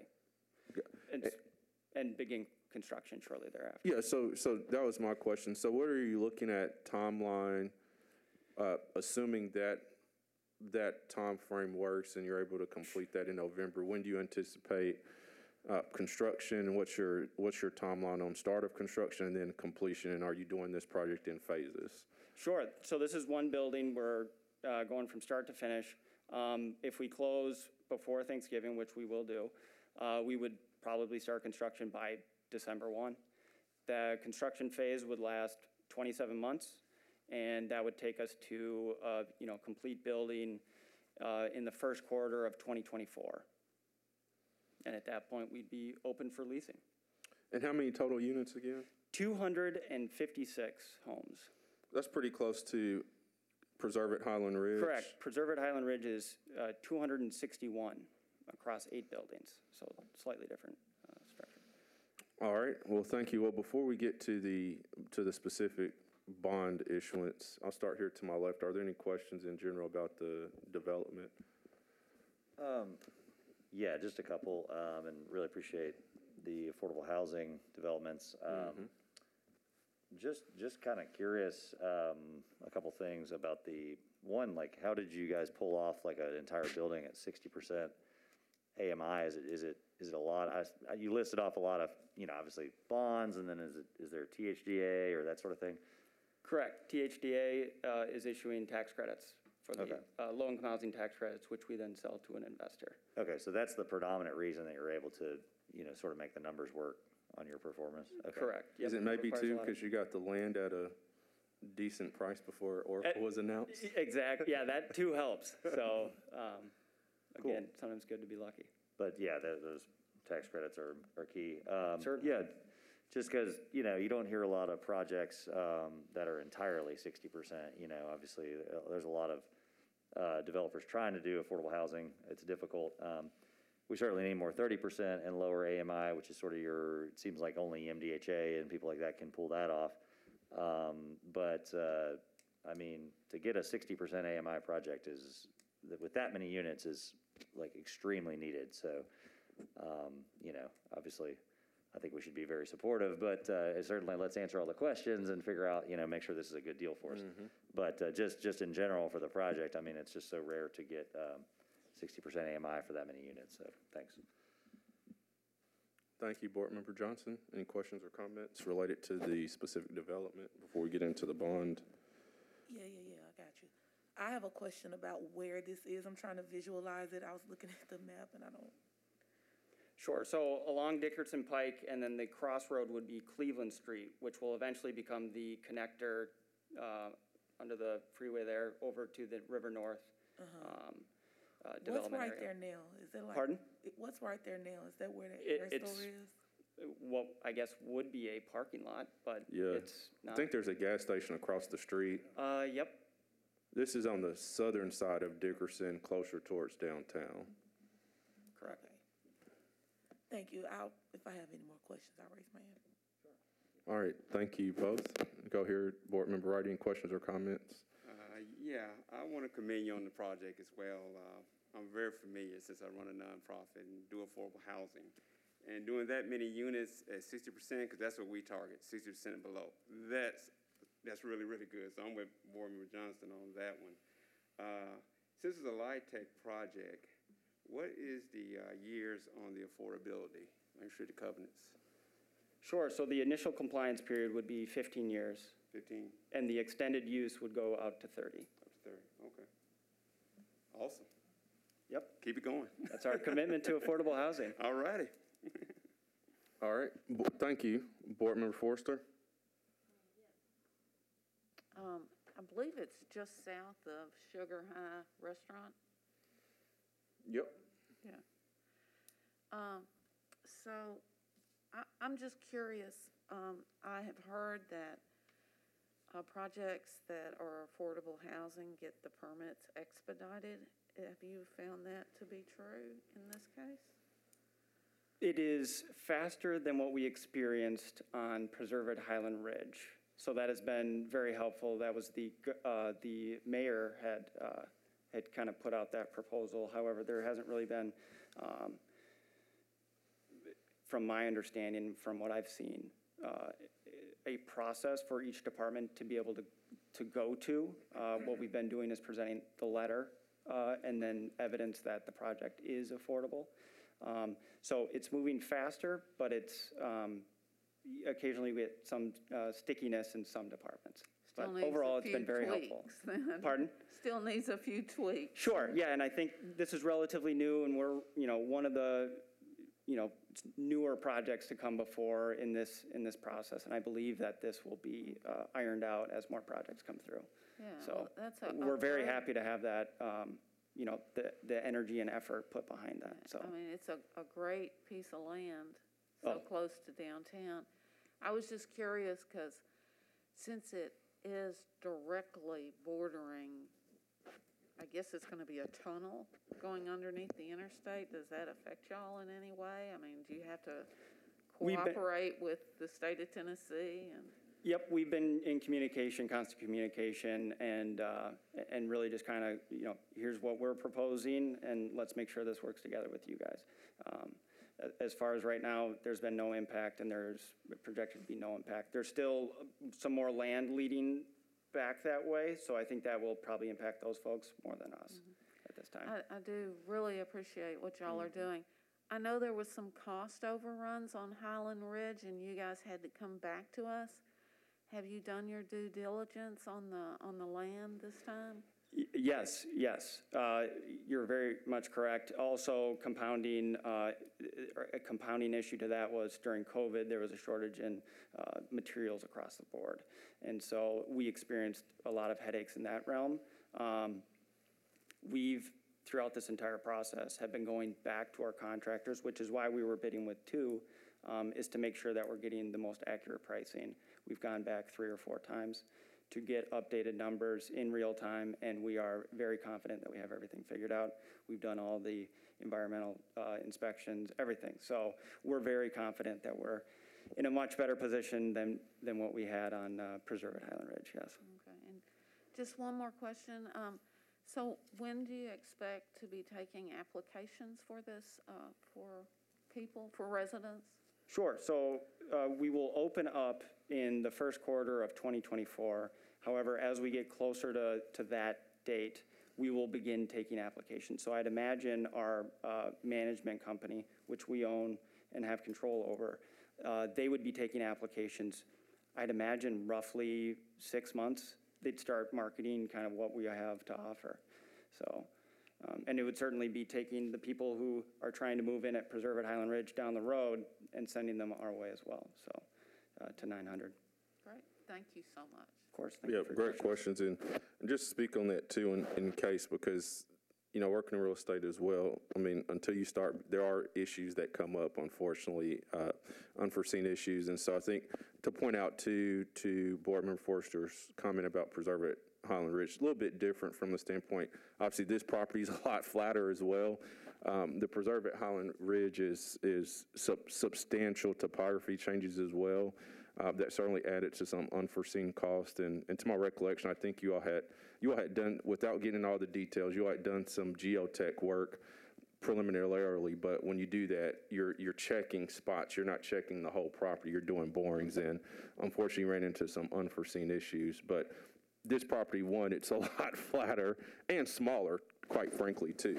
So, uh, chance, but if something happens, then you can come, certainly you come before us and this board can decide how to move forward. So, uh, that's great. Great questions, Board Member Forrester. Board Member Cordova, questions or comments? Yeah, I just want to echo everybody by saying this sounds like a great project. Um, One question I do have is, what's the impact going to be on the existing infrastructure there? And are you guys committed to um, building out that infrastructure? As well as, I know there's a bus stop right in front of there. Um, So how would that impact sort of the residents that live there and utilize those services um, when you're doing this sort of project? Sure, so this site is, is currently vacant, and a lot of the surrounding uh, retail, is, surrounding properties are retail or warehouse-type structures. Um, The bus stop that you uh, mentioned, we've been in contact, and they basically came back to us and said, let's see what it looks like when you're, you know, you, you started moving dirt. Um, So our plan, in my mind, is going to be just moving the bus stop across the street, uh, the other side of Cleveland Street. So there shouldn't be any impact to you know, ridership or, or the ability to access the, uh, the bus stop. In terms of uh, traffic impact in the immediate area, we have done a uh, traffic study, traffic impact analysis. We've been in communication with the city, and uh, we've been going through that entire process as well. Got it. So you're- envisioning that the uh, sidewalk as well will be closed through that whole thing while you move the bus stop across the street and? the sidewalk Correct. For closed? safety purposes, it would make the most sense to, uh, uh, Got you. No scaffolding or anything like that? correct. Okay, thank you. Thank you. Vice Chair Segal. Yeah, so again, I mean, this sounds like a really great project. I think one of the things that's nice about the fact that this is a tax credit property is that my understanding is that you're gonna have ongoing obligations to the federal government to maintain this property in accordance with those standards. Can y'all talk about those inspections and those standards a little bit? Because I think it's a nice benefit for us to know how closely this is watched over time. Sure, so every applicant has to prove income. And so not only is that done in the application process, it's done uh, when they move in and then, you know, verified again, you know, a year later. Uh, And, and for the entirety of the pro- project's existence, uh, for the affordability compliance period that we had mentioned before, 15 years and another uh, 15 to total 30. And so, um, yeah, that, it- it, annually, we have to be able to report the, uh, the fact that the project is one hundred percent affordable and that everyone is earning, uh, upon moving in, sixty percent or less of the area's median income. And our incomes, or our rent that we charge is also dictated and has to be kept at the, at the level of thirty percent of sixty percent area median income. Yeah, and I think my question also goes to the physical maintenance of the property. So what sort of obligations are y'all gonna have over time to, to physically maintain the property in accordance with how it's built and those standards? Yep, so we have to meet all uh, building code requirements. We have um, uh, ADA accessibility requirements, and those are inspected. Uh, And that is started on the front end and maintained all the way through for the 15 years. So uh, you're 100% right. It's not only city codes, but then also the the federal requirements that exist over our heads as well. Um, And and again, that is for the, Uh, Dylan, let me add, um, uh, my name's Frank Hogan. I'm an investment banker with uh, Securities. I think to, to that question as well, there'll also be requirements um, and responsibilities to the lender uh, to maintain the project as well. Uh, But having said that, I- you mentioned earlier that, you know, Dominium has a very long-term view of ownership and management of their assets. And uh, you're going to be a part of the community for 15 years and, and well beyond that. exactly. All right, thank you, Vice Chair Segal. So, two quick questions for me. One, and I'll let you answer this one first before I get to my last question. One, um, I know, well, I like Dickerson Pike. I live in East Nashville, so I'm very familiar with the area. But even before the Oracle deal was announced, obviously you were looking at Dickerson Road. You did preserve at Highland Ridge. Um, you had this one. What, what really attracted you to this property and, and why did you think it would be a, uh, a key, a, a great location for, for affordable, to, to do this type of project? Sure. um, Connectivity. There's a bus route right on there. Um, Employers are, you know, surrounding the area, uh, close to downtown. There's a lot of good reasons in that respect. Um, Land affordability at the time, you know, Oracle wasn't in there. Uh, Prices in Nashville have gone through the roof. Uh, It's becoming increasingly difficult to find locations that are, you know, not priced out of our range, being that 100% affordable. Um, And so it really was just an opportunity to, um, you know, kind of create an urban, affordable housing development that the area lacked, frankly. Um, And again, of high quality. This is a indistinguishable from a, you know, market rate type uh, product in the marketplace for renting. And I'll agree, your, the preserve at Highland Ridge development looks, looks awesome. Um, so, let me go here, here's a loaded question for you. Okay. So,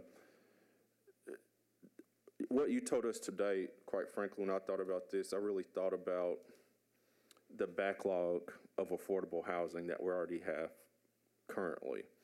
And I thought about, this is a phenomenal project. You're bringing on, you know, over 250 units. You're not bring, but, you know, you've got to get the land, go through your due diligence, all of that, and then actually start construction, and then go through the construction progress. Bar, barring anything unforeseen, we're looking at two years, over two years from now, that these units will be available. By that point, how many more affordable housing units will we need? So obviously, you know what you, your company knows what you're, this is what you do. You do affordable housing development, you do it all over the country. Based on what you're seeing in Nashville, uh, to your point, the difficulty of finding land, prices are continuing to rise, which make these types of projects harder. And maybe you wouldn't have been able to do this type of project had you tried to buy this land today, just due to the cost. What do you think that we need to be doing as a city from, from a developer's perspective to try to tackle this affordable housing, quite frankly, crisis that we have? Sure. You didn't, uh, you didn't plan on that one today. I, I did not, no. I, um, you know, just identifying sites, that's, you know, number one, we're always looking for opportunities, and you guys have a great idea where, where more affordable housing is needed, so communication on that front.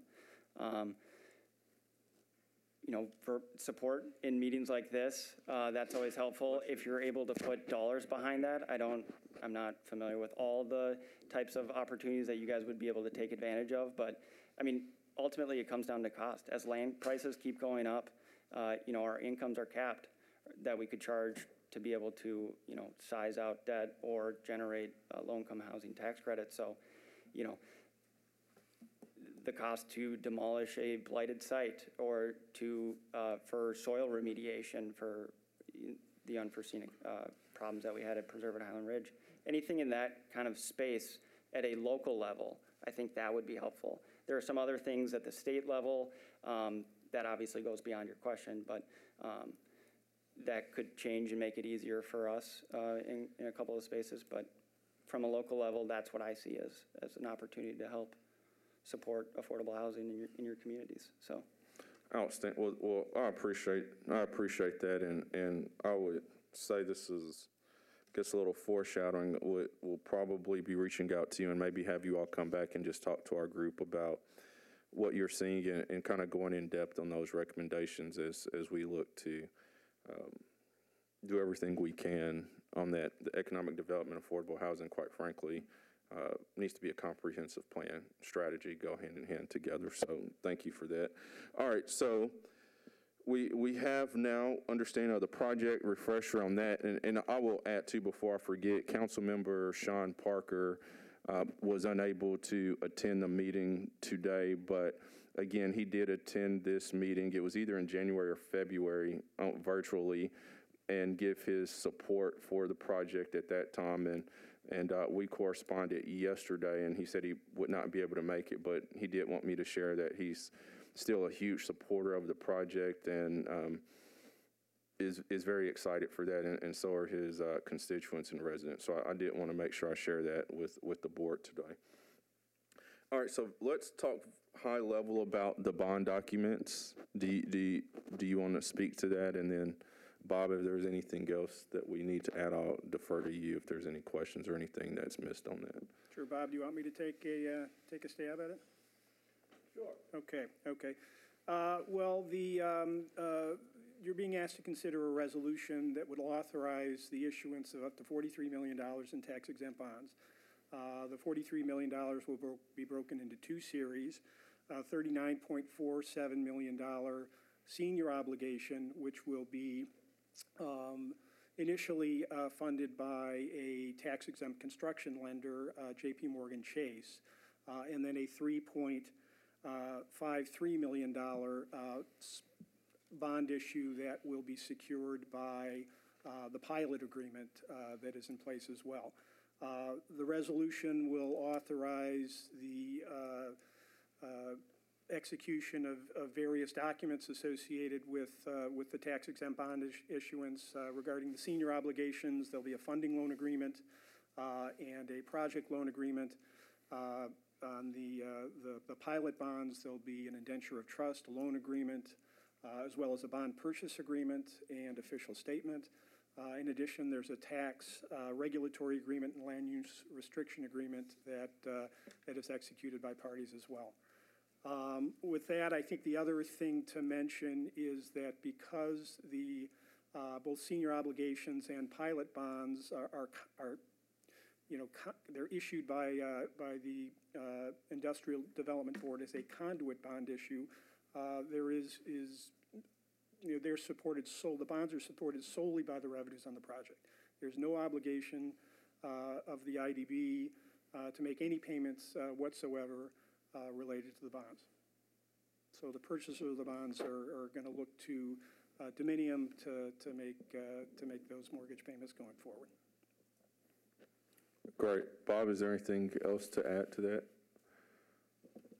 I would just like to add that there are about 18 or so professionals involved in this project with all kinds of descriptions, lawyers, financiers, developers, et cetera. And they have been having weekly telephone meetings. Uh, Everybody's been on them. Uh, So what, what we have here is a bunch of professionals that have worked very, very hard to make sure that this works from a standpoint, from whatever the, the standpoint is. And I've been on every one of those calls and am very impressed with the professionalism, uh, with the effort, with the due diligence, and it's continuing. And um, expect it to continue. And it, it's at a set time, you, you know, we're all used to that now. Got to call in the number and put in your passcode, uh, but, but it's useful. I just wanted you all to know that, that, that uh, the multiple, very, very good conversation here today about the multiple interests uh, that have to be involved in order for this to work. And, you know, I'm just saying that from a professional perspective, they're doing this very well. All right. Thank you for that. Thank you both. All right, with that said, I would like to entertain a motion to approve the resolution approving the authorization, um, issuance and sale of bonds for the subject property. All right, we, I was gonna make the motion. You already made a motion? Vice Chair Segal made a Oh, you motion. did? Okay, well, I'll second then. All right, Okay. properly seconded.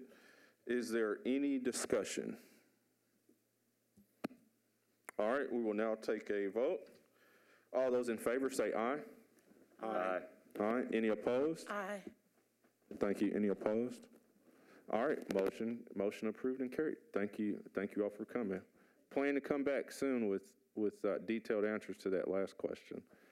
All right, thank you all. All right, now, I thank everybody for their patience. Now on to new business. HCA-ITNS request to terminate the pilot agreement and allow HCA-ITNS to exercise its purchase option and obtain full ownership of the real and personal property previously transferred to the IDB pursuant to the pilot agreement. Um, and, and we don't need, necessarily need to spend a whole lot of time on this. Again, this is only for informational purposes in the spirit of transparency. Uh, essentially, this was a pilot agreement that was approved prior to any, anyone on the current board's uh, service. And uh, I want to say this was in 2011, 2012. And essentially, how these pilot agreements are done is the IDB has to be the official, uh, due to state law, the IDB, us, the Industrial Development Board, has to be the owner of the property during this pilot agreement period. That pilot has now expired. Um, and so there's actually uh, language in the agreement when the pilot agreement was done that after the pilot agreement expires, that the IDB will relinquish its ownership of the property. And this is pertaining to the HCA site on Charlotte uh, in Capitol View. Several of us, I don't know if anyone here, aside from me, gosh, I'm getting old. I, I think I was the only person that attended a meeting there several years ago, but that, that's what we're doing today. Again, there's no vote needed from the board, uh, but because I do have to sign the document, again, just for, in the spirit of transparency, I just want to uh, share that with you. Uh, so anyway, this is something that we're required to do based on the agreement. Bob or Margaret, did I, if there's anything I missed on, on explaining that, let me know. I think you covered it quite well. Thank you very much. I, I agree with that, and um, uh, we have as a special guest today, just so you'll know, Tom Trent. uh-oh, Uh, the legend. And now, don't make his ego go too big. But Griffin Capital has a virtually identical circumstance going on where a pilot agreement is, is expiring. And when that happens, the title has to be moved from the IDB uh, and back into the normal title ownership on the expiration of a pilot. So um, there's also an opportunity uh, to get our able chair here to sign documents for the transfer of that pilot interest as well. And Mr. Trent has brought all of the documents and, um, and made them precisely correct. And so unless someone on the board objects, um, our chair will also execute those documents. Yep, all right, that's good. Now, I'm not, I like Tom, but I'm not signing anything unless Margaret gives me the green light, so we'll, we'll make sure that's okay. Good. Well, thank you all. Again, nothing the, the board needs to vote on, but again, just in the spirit of, of transparency, um, just want to make sure that, that we made everybody aware. All right, from a time standpoint, we are about a quarter to 12, so I will try to move through the, the next items. Just a couple items I want to run through uh, in this last section, Chairman's report. Uh, Number one, meeting time. Um, Obviously, over the past year and a half, uh, before I became chair, we kind of met at various times, and we're having to meet virtually. Um, Since I became chair, one of the things I want to focus on is having a set meeting time. So that's good for us as board members to know when we're meeting, uh, but certainly to reserve this building as well, so that um, parking is certainly much better here than it is at uh, Metro Public Square um, but certainly have a larger room due to what, everything that's going on, so we can kind of space out more. And certainly if we, as we have more guests, plenty of room for people to space out. So I just want to make sure, as we have a couple of new board members, does this time and date still work for everyone for meeting? Yeah, works to me. Okay, so here's, here's what we'll do then. We'll, we'll go ahead, Joy, if you will, go ahead and let's plan to book this, this room, we have this room booked through the end of the year. Let's go ahead and book this for 2022 as well. Um, So this will continue to be our main meeting location, certainly depending on how, how everything proceeds and, and hopefully the world continues to get better. Uh, we want, certainly want to look at doing some things that I've been fortunate to on my board and, and have meetings at some of uh, these companies. And, and certainly we've talked about um, the African American Museum, um, potentially have a meeting there next year. So hopefully if the, if the world is great, we can do some of that. Um, I've attended a meeting at Bridgestone HCA, but this, again, barring some, some changes, this will be the main meeting spot as long as we can get it booked. So, uh, Joy, just let me know. I'll follow up with you uh, tomorrow and let's just get that booked. So, thank you. Thank you all for your help on that. Very quickly, too, just some exciting news. Uh, last week, I was able to attend the River North groundbreaking. Again, that is not the Oracle deal, but it's it's uh, adjacent and it's right next to right behind Top Golf. So that was also um, really exciting and neat. And and at some point, we'll pro- even though that project is not part of the IDB, we will likely have the developers come and just speak to us about it, just because I think it's really neat and it's certainly connected to the Oracle project as well. So I just want to share that. Uh, third quick item, affordable housing. Um, that is something that, uh, unless I'm reading the tea leaves wrong, is something that's extremely important to this board. Um, we just talked about Nashville is growing, which is great, but challenges for that are, are, are cost of housing. So And, and Courtney, I want to actually commend you very quickly. I, I was watching you from when you went before the council back in May, um, and on, on Metro Nashville YouTube TV, and, and you were talking about a comprehensive strategy with working on development, but also ensuring that residents in affordable, I think it was in Dallas, um, uh, make sure that residents in affordable housing development you worked with, I think it was Home Depot, to ensure that some of those jobs went to those residents. So I thought, I was really impressed with that and what you said on that strategy. So um, I saw that, say, I think here what, what I like to do and continue to work with Courtney on too is looking at ways that we can continue to use any, any resource that we have to improve affordable housing and um, looking at down the line, having a meeting devoted to that.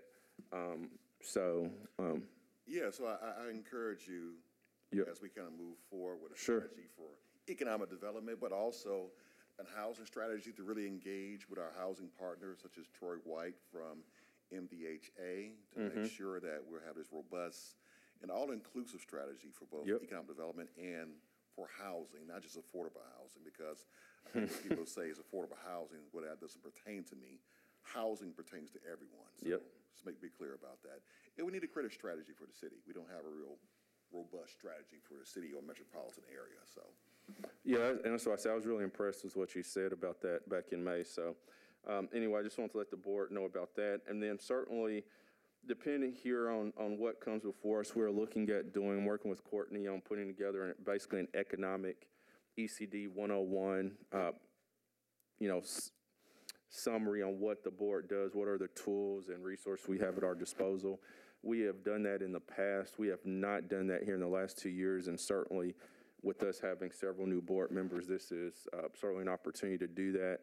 And as part of that, I will probably ask one of our board members to talk about the Do Better bill as well as part of that as well. Um, He's done it before, so So we'll talk about, you know. I think he'll be okay. We'll do ED one-on-one, but also talk about best practices from other cities, what other boards like this would do, both from levying fees for incentives and programs, but also looking at a more robust workforce and small business strategy, which if you're doing this body and other bodies comparable around the country, they have a more robust platform. So we should really look at ways to look at workforce development, small business development, business attraction and retention and expansion. Where are policies to utilize bonds to do, you know, nonprofit developments or affordable housing or housing in general? So those are the things we'll look at. Those are things I'll bring before this body to be more robust and more inclusive.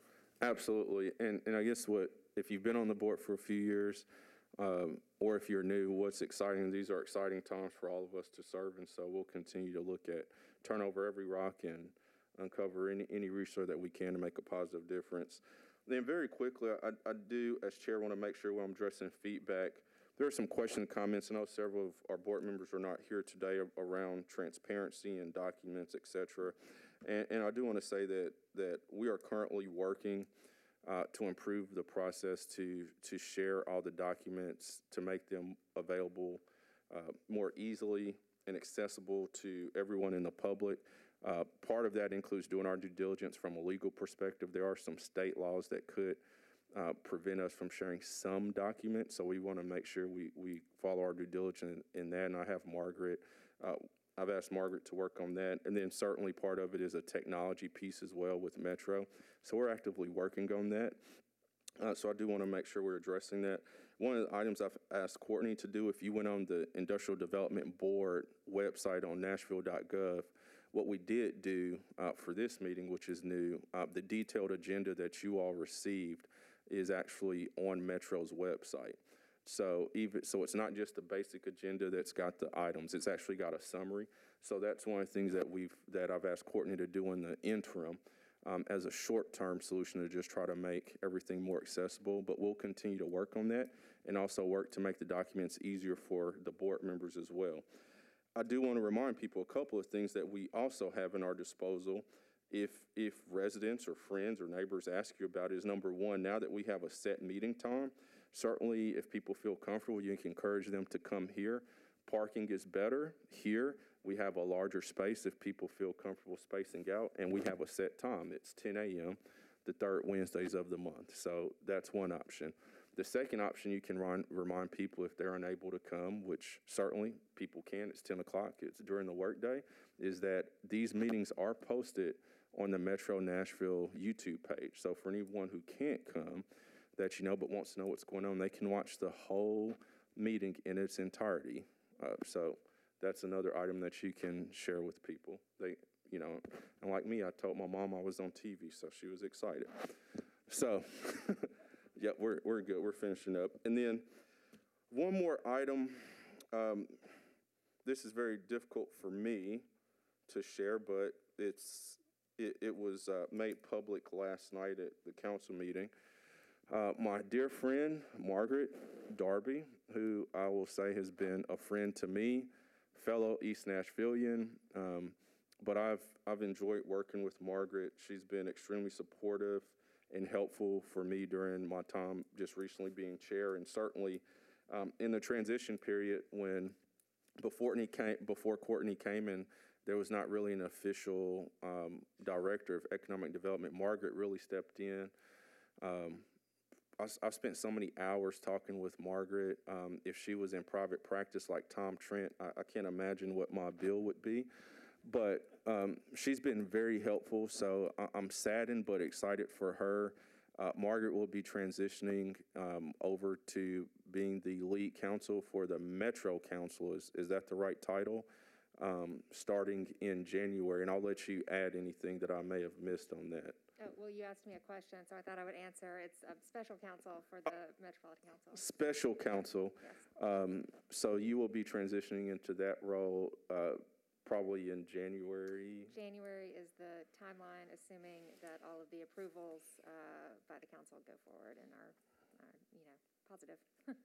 Well, well, as a person, I'm certainly saddened, but excited for you and the opportunity for you. But um, I'm sure, like uh, what I said, I'm sure a lot of the board members share. So it's just been a pleasure um, working with you and getting to know you over the last several years. And um, I'll certainly make sure that I wear you out with uh, questions over the next two and a half months. So anyway, I, I did want to share that, but congratulate you as well. So so thank well, so congratulations to you for the opportunity and thank you for your dedication and, and service during, you know, really with COVID and everything. It was a tough time, so we appreciate all your efforts. Thank you. Thank you. All right, lastly, and we're getting close here to finishing up, Margaret Walker with Metro Finance is here to tell us about the board's financial position. There we go.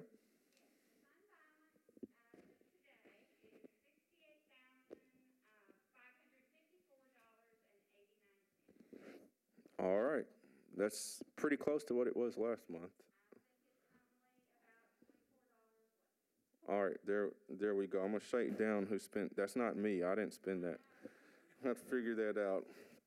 Well, anyway, this, this concludes today's agenda. I'd like to thank again the members of the board for, for dedication, your time today, your phenomenal questions and comments. Thank you. I'd like to thank Metro Finance, Metro Legal, and certainly all of the attendees today and developers that came and answered our questions.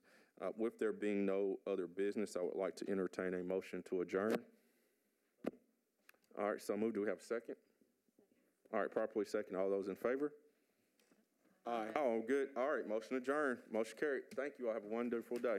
While you're all still sitting here, I want to say that when you're a professional, when you're a lawyer, you get to work with lots of different kinds of lawyers. And I have never worked with a lawyer more cooperative, harder working, or informed on the subject matter she had to be informed about than Margaret Darby, and always ready to stand up, and always ready also to say stop. And uh, and some of us know that sometimes that's the most important thing to know how to say. So thank you personally, if I may, uh, Margaret, and best of wishes in uh, your next step. Thank you.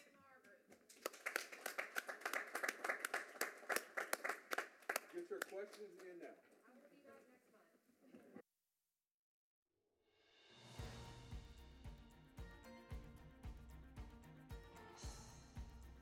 This has been a service of the Metro Nashville Network.